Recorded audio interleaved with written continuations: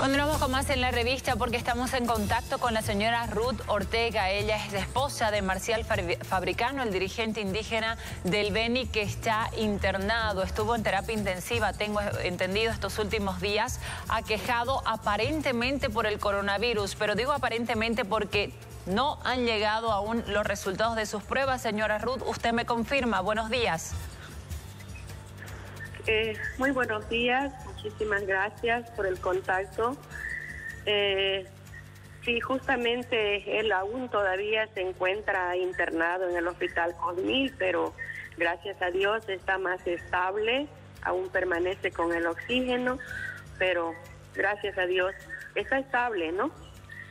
¿Qué pasa con las pruebas, señora Ruth? ¿Desde cuándo él está con síntomas? Eh, ¿Desde cuándo está internado? ¿Cuándo le hicieron la prueba de coronavirus?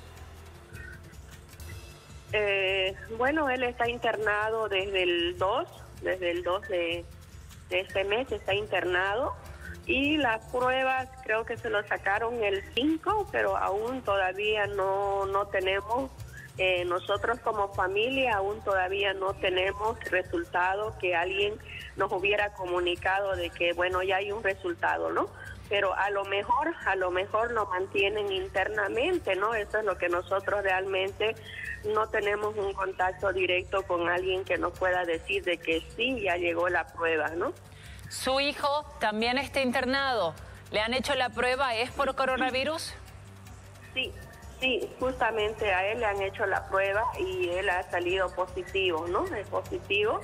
Entonces eh, nosotros la verdad que estamos muy preocupados y, y bueno, esperando que desde allá alguien nos pueda confirmar o que le digan a mi esposo de que sí ha sido positivo o no. Estamos en esa espera, ¿no? Pero, finalmente me imagino que con el, eh, con el diagnóstico positivo de su hijo, ustedes como familia tienen el temor de haber podido ser contagiados. ¿Qué acciones están tomando? Eh, claro que sí, claro que sí, el temor hay, ¿no? De que al tener mi hijo, eh, mi esposo, no sabemos si, si, es, si es coronavirus o no es, no lo sabemos todavía de él.